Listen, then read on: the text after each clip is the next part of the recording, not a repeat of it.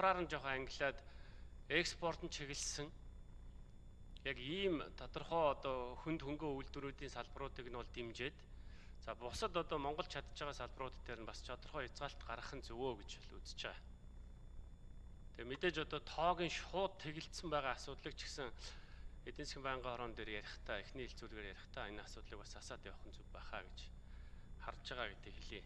За бас тэр нэг олон удаагийн виз юм уу, байнгын оршин суух виз юм уу гэдэг англи тэр тэрэн дээр нодгоо маргаантай зүйлүүд байгаа бол тэрийг нь засъя гэж бодож байна. За мэдээж тэр Сүхбаатар гишүүний хэлсэн тэр өөр байнгын ороонуудын асуудал байгаад үн тийм өөр байнгын ороонууд дээр нь хилцээд санал дүгнэлтүүдийг аваад засаад залруулад явах нь зөв бахаа гэж бодож байна.